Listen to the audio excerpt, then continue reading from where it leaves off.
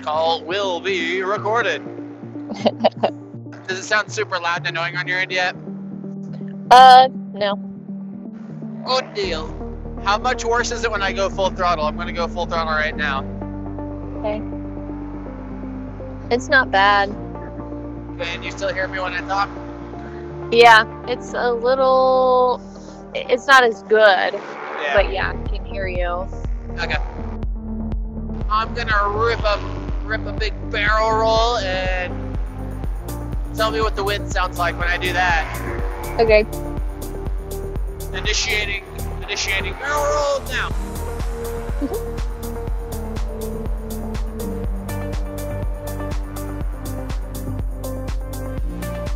Anything? No, it's no different than flying normally. Oh, cool. Good. it's a beautiful day in the neighborhood, though, hon.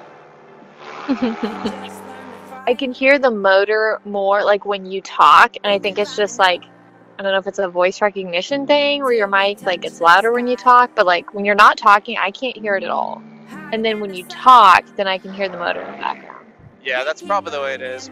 You can tell because of the way that it is. As, as long as you can kind of hear me, I am stoked that Apple now released that update. And maybe there was always a way to do it, and I just didn't know about it. If you're anybody that does like YouTube or like YouTube Shorts, what a freaking game changer! Freeze wave. Yeah.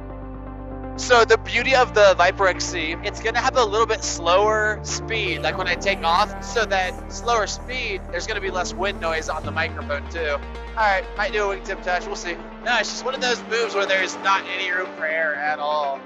So you gotta like really bury the brakes, bury the brakes until you're back to that stall point. Let up, dive at the ground, initiate your turn, snap the brake, and you get the ground.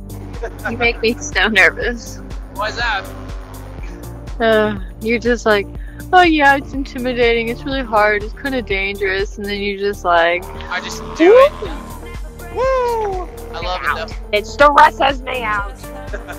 We don't have to talk on the phone the whole time. I just wanted to get like a little sample clip of me flying and see what it sounds like on like once I'm on the ground. If I were to like use it for a YouTube video or something. Okay. So, yep. All right, well I'm gonna listen to some Katy Perry now. Bye, babe. Have fun with that. Keep burning bright.